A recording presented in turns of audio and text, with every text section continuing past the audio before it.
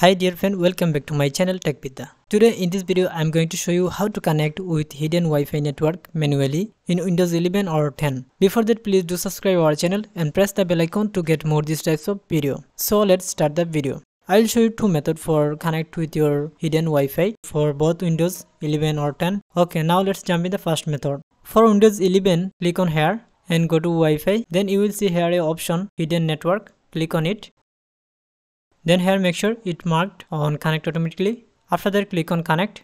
Now type here your Wi-Fi SSID that's main Wi-Fi name. Then click on next. After that type here your Wi-Fi password. Then click on next.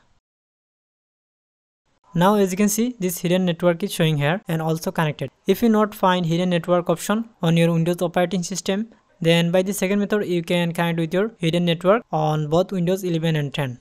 In second method what you need to do here click on search bar and type here control panel. Then open control panel. Then from here go to network and internet. Then from here click on network and sharing center.